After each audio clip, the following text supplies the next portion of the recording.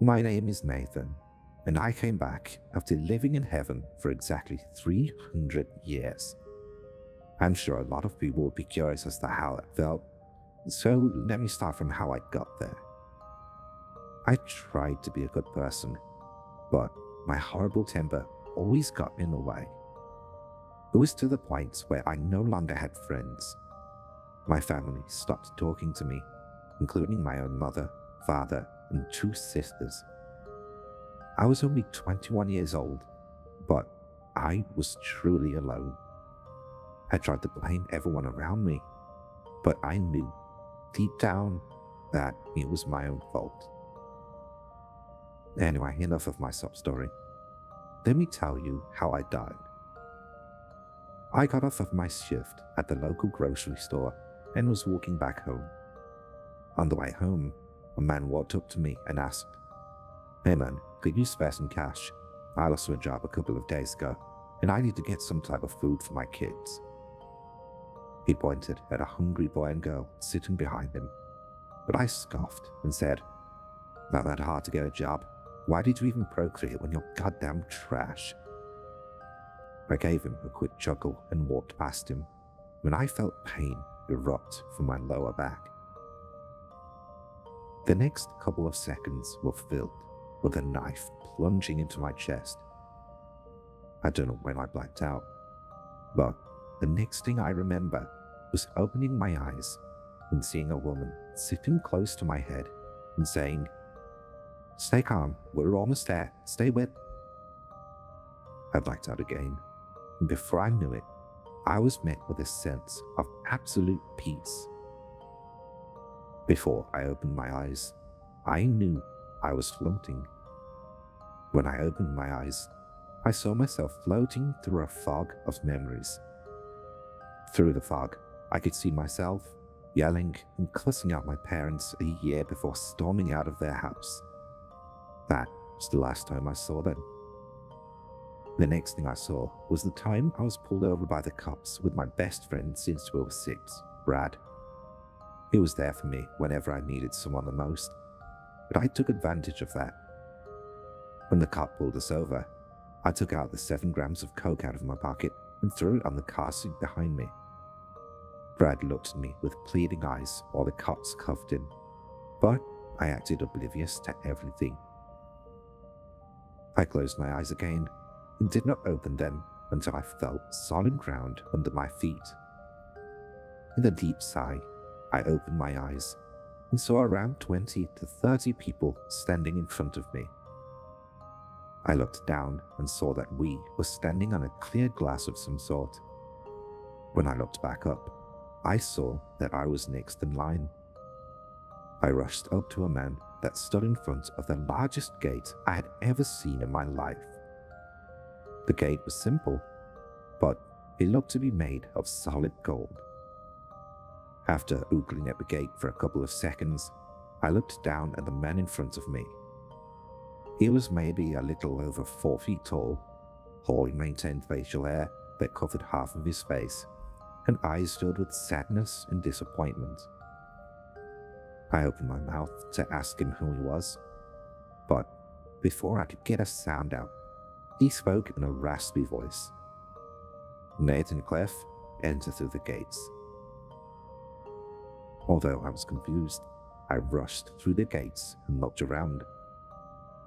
A road paved with gold, bodies made of solid light walking around everywhere, and other people walking around with dreamy expressions on their faces.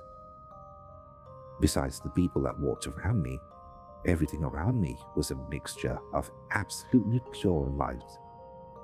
Something far brighter and crisper than anything I have ever seen the only thing that stuck out like a sore thumb was a man dressed in all red with a piece of paper. Written on the piece of paper was the date. Somehow, whenever the man flipped the paper over, it gave the date of the next day, and an endless swarm of people surrounded the man. The first 50 years passed by quickly. I met a lot of other people and talked about our lives but I quickly became bored. You can only talk to so many people before their lives start sounding the same. We never grew hungry, tired, or thirsty, but it never ended my cravings. I wanted to get a good night's rest. I wanted to eat just one carrot to savor all of the taste. I wanted to quench a thirst with a cool glass of water. But all we had was each other, and those damn angels had never said a word to anyone.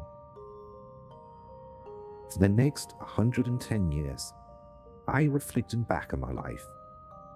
It may seem like a long time to think about 21 years of life, but you can learn a lot more about your life just by revisiting the same memory thousands of times.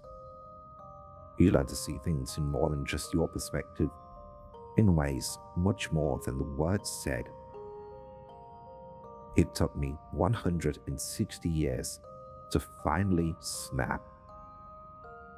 I don't know what came over me, but I wanted to leave this place.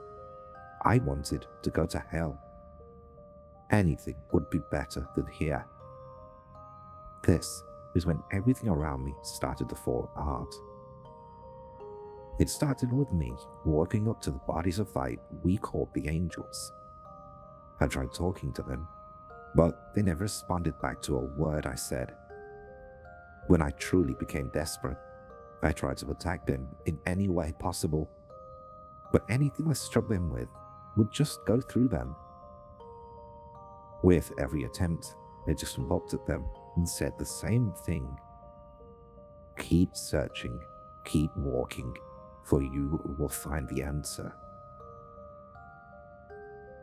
80 years had gone by since then, and all I had done was failed attempts of attacking other angels, as well as asking everyone else if they knew what the answer was.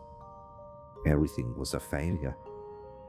I started to give up hope, but I started on the longest journey of my life. I turned around and started running as fast as I could. I would still see the man at the sign over and over, telling us what the next day was. It was annoying at times, but it was really the only thing that kept me from going insane. 55 years go by. It is now the 295th year in heaven, and I started to see the gate I walked through three lifetimes ago. Three years of constantly running, and I don't feel like I'm any closer. The scenery around me changes. I am now surrounded by body parts and blood lying all around where I run. I came across a couple of heads, and whenever I see each one, I stop running and ask them what happened. Each of them said the same exact thing. Don't look for the truth. The truth won't help you. Endure the punishment. It only gets worse from here. I started to get scared. Not just scared for my life. This was far more. I was scared for my soul. The part that will never die. The part that will suffer for all eternity. No matter how bad we were cut up, sliced open, or just cut into dozens of pieces like the people around me now, I would not be able to leave. This was a punishment that will never end. After three years of running and hearing the same thing over and over again, I started to second guess myself, but I needed to know. It was beyond curiosity.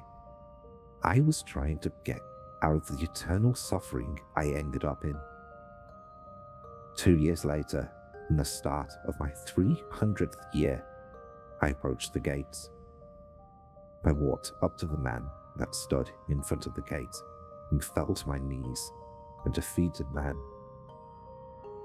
He looked at me with the same eyes that were filled with disappointment and sadness before saying, Nathan Cliff, poor Nathan Cliff.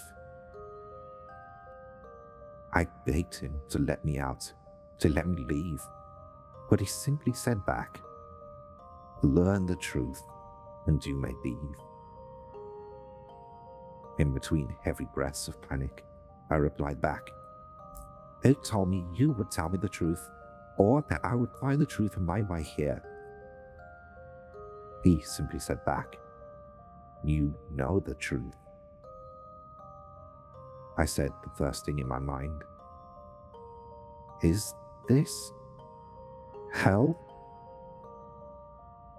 He chuckled and said, No, you are in heaven. Or what makes you think heaven is for the good? You left the paradise created by God, the paradise ruined by us. We can blame the devil all we want, but we are the ones that continue to do wrong. Do you think Lucifer continues to spread his lies to the people when the lies are spread for him? I wanted to argue with him, but deep down I knew that was the truth.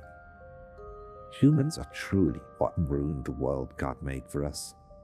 Lucifer may have tempted us, but we are the ones that truly ruined it. I woke back up and saw the woman that was talking to me before I lived through the scariest experience of my life. She calmly said, Don't worry, you're back now. Don't go on us, we're almost there. I knew she was mostly saying it for herself, but I gave her my best attempt of a nod. She put the defibrillator back down, and we were silent for the rest of the ride. I'm in the hospital now. I learned that I was dead for 45 seconds. 45 seconds had created exactly 300 years for me. I'm on my phone now. The doctors are done treating me. Pain still erupting all over my body. But man, does it feel good. I have a tray of food in front of me. Carrot sticks that I never liked, but it is bursting with flavor for me. Water that is quenching my parched throat. And after I post this experience to you guys, I am going to enjoy a good night's rest.